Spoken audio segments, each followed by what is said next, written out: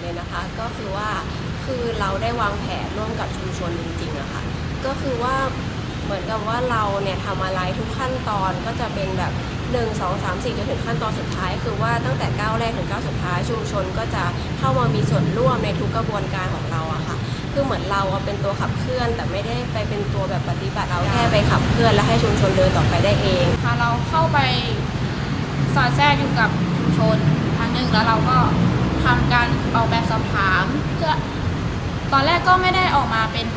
แบบสอบถามที่สมบูรณ์ คือเป็นการสอบถามพูดคุยกันธรรมดากับชุมชน เพื่อให้ชุมชนได้สะท้อนปัญหาให้เราเห็น หลังจากนั้นเราก็ได้นำปัญหาที่ชุมชนสะท้อนมาสรุปออกแบ่งออกเป็น10ปัญหา แล้วหลังจากนั้นก็เอาไปสำรวจกับชุมชนค่ะ ชุมชนก็ได้วิเคราะห์ปัญหาออกมา โดยที่เขาให้ความสำคัญกับเรื่องน้ำไฟฟ้าถนน หลังจากนั้นเราก็ได้นำข้อมูลเหล่านี้ไป คืนข้อมูลให้กับชุมชน เพื่อให้ชุมชนสะท้อนให้เห็นว่าปัญหาใดที่เขาเห็นว่าสำคัญที่สุด แล้วปัญหาใดที่เขาเห็นว่าเขาประสบอยู่แต่ไม่สามารถแก้ไขได้ แล้วก็ไม่แน่ใจว่าจะทำได้หรือไม่ได้ค่ะหลังจากนั้นชุมชนเขาก็ได้สรุปปัญหาออกมาว่าเขาประสบปัญหาน้ำน้ำเรื่องน้ำประปา เป็นปัญหาที่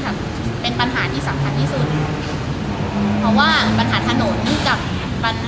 ปัญหาเรื่องถนนกับไฟฟ้าเป็นเขตเป็นเขตติดต่อระหว่างอำเภอกับอำเภอเขาไม่แน่ใจว่าสามารถจะแก้ไขได้ไหมหลังจากเราได้ปัญหาเรื่องน้ำประปา เราก็ได้จัดเวทีชุมชน เพื่อให้ชุมชนได้วิเคราะห์หาว่าว่าปัญหาที่แท้จริงนั้นคืออะไร ข้อมูลจริง ๆ ที่ว่าประชาชนประสบอยู่อะเกิดจากอะไรค่ะแล้วหลังจากนั้นเราก็ได้ปัญหามาชุมชนก็ได้สะท้อนให้เห็นถึงปัญหา เราก็ได้ จัดเวทีหน่วยงาน เพื่อให้เวทีหน่วยงานนั้นๆ ได้รับทราบว่าชุมชนเกิดปัญหาเหล่านี้อยู่ค่ะเราแล้วเราก็เมื่อหน่วยงานรับทราบ เราก็ได้ดึงเรารู้ว่าพื้นที่ตรงนั้นเป็นพื้นที่ระหว่างเขตอำเภอเขตอำเภอเมืองกับอำเภอบางระกำเราก็ได้ดึงหน่วยงานที่เกี่ยวข้องทั้งเรื่องน้ำประปา และหน่วยงานขององค์กรบริหารส่วนตำบล ระหว่างตำบลท่าโพกับตำบลท่าทองมาร่วมมือในการ พูดคุยเพื่อรับทราบปัญหาของชุมชนที่ประสบอยู่ค่ะแล้วหลังจากนั้นเราก็ได้จัดเวทีรวมทั้งหน่วยงานและประชาชนเพื่อให้ประชาชนได้สะท้อนถึงปัญหา และได้ให้หน่วยงานได้รับรู้ถึงปัญหาที่ประชาชนประสบอยู่ พร้อมกับร่วมการวางแผนในการแก้ไข เป็นแผนที่สามารถเกิดขึ้นจริงแล้วสามารถ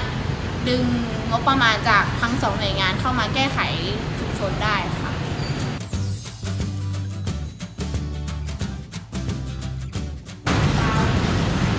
ที่ได้นะคะ จากการเราจากที่เรานำนวัตกรรม นวัตกรรม สัญญาใจพลเมืองของดรปริญญาแท้ทองไปใช้นะคะ เราจะเห็นได้ว่าการทำงานของพวกเรา เราจะมีขั้นตอนการวางแผนมากขึ้น เพราะกระบวนกระบวนการเหล่านี้เราไปทำกับชุมชน ชุมชนจะได้ก้าวกับเราตั้งแต่ก้าวแรกถึงก้าวสุดท้าย แล้วเขาจะอยู่ได้ด้วยตัวของเขาเอง เพราะเขาเป็นคนเริ่มตั้งแต่แรกค่ะ เพราะว่าพวกเราเป็นแค่พูด ง่ายๆเหมือนเป็นองค์ประกอบ แต่ให้เขาเดินของเขาเอง ให้เขาแก้ปัญหาด้วยตัวของเขาเอง เราเป็นแรงขับเคลื่อนให้หน่วยงานภาครัฐได้รับทราบถึงปัญหาของชุมชนค่ะแล้วหลังจากที่พวกเราได้สิ่งที่พวกเราได้นะคะก็คือเราได้เป็นหน่วยขับเคลื่อนให้ชุมชนกับภาครัฐได้ทำงานร่วมได้มีส่วนร่วมในการทำงานด้วยกัน แล้วเราได้ทำให้ชุมชนได้ ได้แก้ไขปัญหาที่เขาคิดว่าเป็นปัญหาสำคัญที่สุดในชุมชน แล้วที่ได้มากที่สุดที่พวกเราภูมิใจมากที่สุดคือ ปัญหาน้ำประปาในชุมชน ได้ถูกแก้ไขเป็นที่เรียบร้อยแล้ว ชุมชนของครูได้ใช้น้ำประปา เหมาะสมกับราคาที่จ่ายไปอะ